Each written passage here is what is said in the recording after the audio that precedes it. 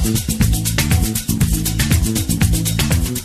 అరంగేట్రం సినిమా రే ఈ సంగతి ఎలా ఉన్నా ఆ తర్వాత మూడు వరుస హిట్లతో స్టార్ ఇమేజ్ సంపాదించాడు సాయిధరం తేజ్. కానీ ఆ తర్వాత సినిమాల ఎంపికలో తప్పటడుగులు అతడి కెరీర్ను దెబ్బతీశాయి. వరుసగా నాలుగు ఫ్లాప్లతో తిరోగమన బాట పట్టాడు మెగాస్టార్ మేనలుడు అతడి కొత్త సినిమా ఇంటెలిజెంట్ మీద కూడా పెద్దగా అంచనాలు లేవు. దీని ప్రోమోలన్నీ చాలా రొటీన్గా అనిపించాయి జనాలకు. సినిమాకు ఆశించినంత బజ్ రావట్లేదు. ఇది ఎలాంటి ఫలితాన్ని ఇస్తుందో అన్న సందేహాలు కలుగుతున్నాయి. దీని తర్వాత తేజు కరుణాకరన్ లాంటి ఫ్లాప్ డైరెక్టర్స్తో పనిచేస్తున్నాడు. తొలి సినిమా తొలి ప్రేమ తరువాత దానికి దరిదాపుల్లోకి రాగల సినిమా ఒక్కటి తీయలేదు కరుణాకరన్. దీంతో ఆ సినిమా మీద కూడా జనాలకు డౌట్లు కొడుతున్నాయి. సినిమాల ఎంపికలో తేజుకు సరైన గైడెన్స్ లేకపోతోందేమో అన్న సందేహాలు కలుగుతున్నాయి. ఇలాంటి తరుణంలో తేజు ఒక ఇంట్రెస్టింగ్ సినిమాకు ఓకే చెప్పాడు. కొన్నాళ్ళుగా ప్రచారం జరుగుతున్నట్లే అతను విలక్షణ దర్శకుడు చంద్రశేఖర్ ఏలేటితో పనిచేయబోతున్నాడట. ఏలేటి శైలికి తగ్గట్లే ఒక వైవిధ్యమైన కథతో ఈ చిత్రం తెరకెక్కనుందట. తేజు ఇప్పటిదాకా హిట్లు కొట్టినా ఫ్లాపులు ఎదుర్కొన్న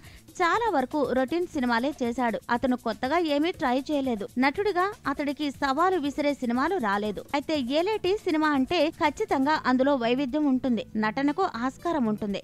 డాన్స్లు ఫైట్లు తప్పితే తేజు సినిమాలో ఏమీ ఉండట్లేదన్న విమర్శలకు ఏలేటి సినిమాలో ఆస్కారం ఉండదు. ఏలేటికి కమర్షియల్ సక్సెస్లు తక్కువే కానీ ఈ ట్రెండ్కు తగ్గ వైవిధ్యమైన సినిమాలు తీయగల సత్తా అతడికి ఉంది. మరి ఏలేటి తేజు కాంబినేషన్లో రాబోయే సినిమా ఇద్దరికి మంచి ఫలితాన్ని ఇస్తుందేమో చూద్దాం.